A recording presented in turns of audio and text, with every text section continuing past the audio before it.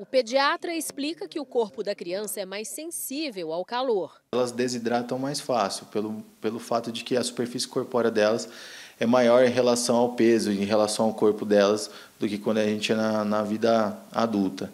Então, a criança, nesses dias de calor, ela, ela tende a perder água muito mais fácil do que o, o adulto e o jovem, por exemplo. E além do calor, a baixa umidade na região centro-oeste também favorece o aparecimento de doenças respiratórias e quadros de tosse, coriza e ressecamento das mucosas. Pode desencadear é, sintomas respiratórios, principalmente nas crianças que têm doenças é, respiratórias, por exemplo, crianças com asma, rinite, alguma outra doença crônica respiratória.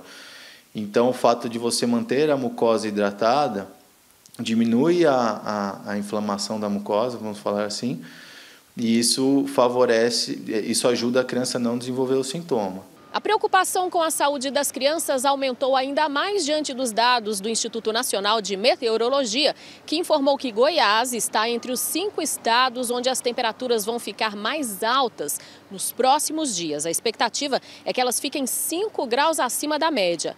Já o Cimego informou que em Goiânia a temperatura máxima pode atingir os 39 graus, enquanto que em cidades das regiões norte e nordeste do estado pode passar dos 41 graus.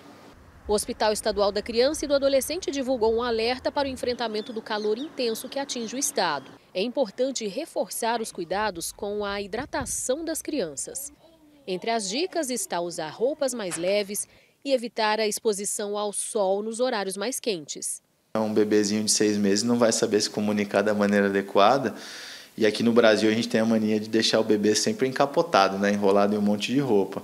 Então, a, ficar atento à roupa que seu filho vai vestir, né? Sempre deixar uma roupa fresca, do mesmo jeito que a gente sente calor, eles também sentem calor.